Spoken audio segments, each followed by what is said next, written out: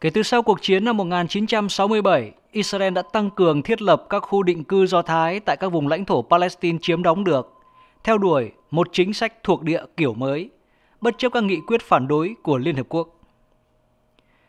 Vào ngày 14 tháng 5 năm 1948, David Ben-Gurion tuyên bố thành lập nhà nước Israel. Ngay sau đó, chiến tranh đã nổ ra giữa năm quốc gia Ả Rập chống lại Israel. Chiến tranh kết thúc vào năm 1949 bằng một lệnh ngừng bắn và Israel đã kiểm soát được hầu như toàn bộ lãnh thổ Palestine. Diện tích của Israel lớn hơn nhiều so với nghị quyết phân chia lãnh thổ Palestine của Liên Hợp Quốc năm 1947. Jordan kiểm soát vùng Cisjordan, Ai Cập kiểm soát vùng Gaza và Jerusalem bị chia cắt giữa một bên là lực lượng Israel ở bờ Tây, Jordan ở bờ Đông. Hơn một nửa người Palestine sinh sống tại đây đã phải đi chạy nạn và giai đoạn này được gọi là cuộc đại tản cư Nakba, có nghĩa là thảm họa. Đến khi cuộc chiến 6 ngày nổ ra vào năm 1967, Israel đã giành được ưu thế và kiểm soát được Cisjordan, Gaza và mở rộng về phía đông Jerusalem. Đây cũng là giai đoạn mà các khu định cư Do Thái của Israel được thành lập và dần mở rộng khắp lãnh thổ Palestine, theo như bản đồ được chia cắt dưới thời thuộc địa của Anh. Ngay sau năm 1967, chính quyền Israel muốn xây dựng các khu định cư công xã Do Thái, kibbutz, tại những vùng mà Tel Aviv kiểm soát bất chấp luật pháp quốc tế, theo Công ước Geneva 1949, cấm một nước chiếm đóng đưa dân của mình đến vùng lãnh thổ đã chiếm được. Các khu định cư Do Thái được bố trí dọc theo thung lũng Jordan, cho phép nhà nước Do Thái có thể ngăn cản các cuộc tấn công từ quân đội hay các nhóm có vũ trang. Các khu định cư cũng được xây dựng xung quanh Jerusalem để bảo vệ thánh địa. Tại Cisjordan, theo báo Pháp Le Monde, chính phủ Israel đã cho xây dựng nhiều khu công xã Do Thái tại các vùng ít hoặc không có dân cư sinh sống. Đến năm 1970, những người Do Thái đến đây định cư một cách bất hợp pháp, ngay cả khi xét theo luật Israel. Ngoài ra, còn có các tiền đồn. Những khu vực này thường không được nhà nước Israel chính thức công nhận, nhưng thường được quân đội bảo vệ. Hầu hết các tiền đồn đều được xây dựng sau Hiệp định Oslo năm 1993, bất chấp việc Israel đã cam kết không xây dựng thêm trên vùng lãnh thổ này. Kể từ đầu năm 2023, hơn 13.000 khu định cư, công xã Do Thái đã được chính phủ Israel hợp pháp hóa. Đây được coi là con số kỷ lục từ 10 năm qua chính quyền của Thủ tướng Benjamin Netanyahu đã thúc đẩy mạnh tiến trình này.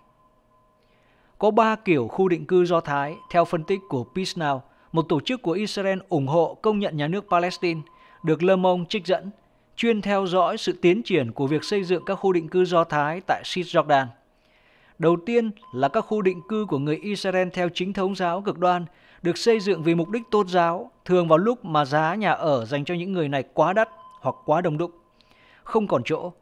Họ thường là những gia đình đông con, nghèo khổ, muốn sống xa lánh với xã hội, muốn tránh bị dò xét vì các nghi lễ tôn giáo. Thứ hai là những khu định cư dân tộc chủ nghĩa được lập lên nhằm tuyên bố chủ quyền đối với những vùng đất nhân danh đấng tối cao hoặc là theo hệ tư tưởng Đại Israel. Những khu định cư Do Thái này cũng có thể là các tiền đồn được trang bị thiết bị quân sự thường nằm sâu trong vùng trung tâm của Cisjordan. Thứ ba là những khu định cư chất lượng cuộc sống – thu hút người dân đến lập nghiệp vì lý do kinh tế hoặc có những lý do khác, nhưng đa phần đều là những người chính thống giáo cực đoan hoặc dân tộc chủ nghĩa. Ngoài ra, những người đến định cư xung quanh khu vực Jerusalem là vì muốn sống gần thành phố lớn. Các khu định cư của người Israel đã bao trùm khắp vùng lãnh thổ, vốn là nơi sinh sống của hơn 3 triệu người Palestine. Những khu vực mà Israel chiếm đóng tại Cisjordan đã biến bản đồ của vùng lãnh thổ Palestine lấm tấm đốm đen như ra báo.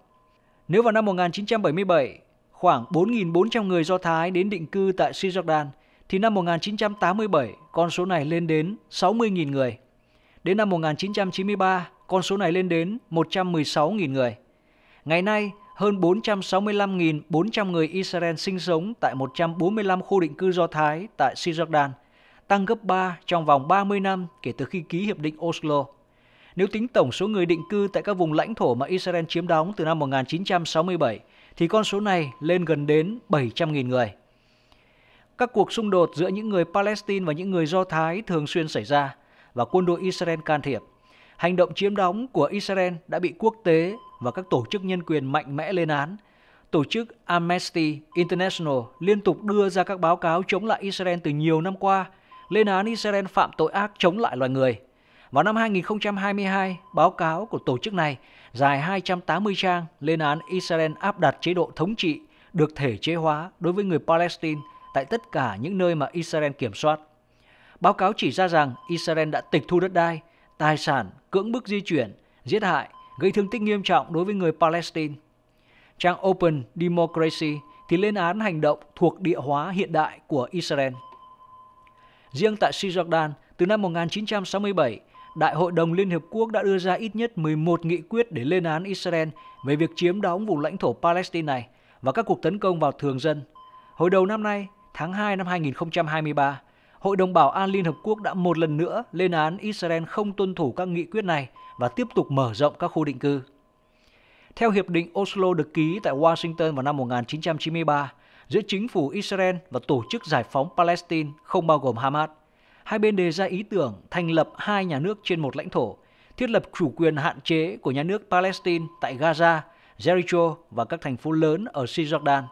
Đổi lại, phe Ả Rập sẽ công nhận nhà nước Israel và an ninh của nước này nếu Israel rút quân và dỡ bỏ các khu định cư.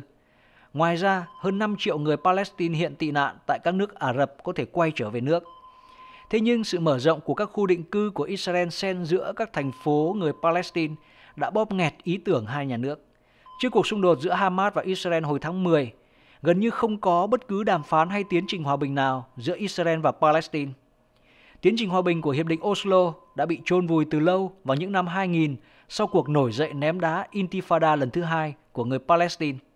Giải pháp hai nhà nước chỉ có thể thực hiện được nhờ việc phi thực dân hóa, yêu cầu Israel dỡ bỏ, di rời các khu định cư khỏi các vùng chiếm đóng. Còn Hiệp định Oslo trên thực tế chỉ củng cố chế độ thuộc địa và sự chiếm đóng của Israel mà thôi. Tuy nhiên, kể từ năm 1967, Israel đã dỡ bỏ một số khu định cư thiết lập tại các vùng lãnh thổ chiếm đóng. Thủ tướng Israel Menachem Begin vào năm 1982 đã sơ tán 6.000 người định cư Do Thái ở Sinai – sau khi ký hiệp định hòa bình 1979 với Ai Cập trả lại lãnh thổ này cho Cairo. Lần thứ hai, vào năm 2005, chính phủ của Thủ tướng Ariel Sharon đã sơ tán 8.000 người định cư tại Gaza khi rút quân khỏi đây. Thế nhưng số người định cư ở Cisjordan lên đến 450.000 người, cộng thêm hơn 200.000 người xung quanh khu vực Đông Jerusalem, thì đây là một thách thức không nhỏ. Sau cuộc xung đột hồi tháng 10, nhiều nước trong đó có Hoa Kỳ ủng hộ giải pháp hai nhà nước – nhưng trong bối cảnh bạo lực hiện nay thì Israel khó có thể nhượng bộ. Quý vị và các bạn vừa theo dõi nội dung trên tư liệu mở Unboxing File. Xin cảm ơn vì đã ủng hộ.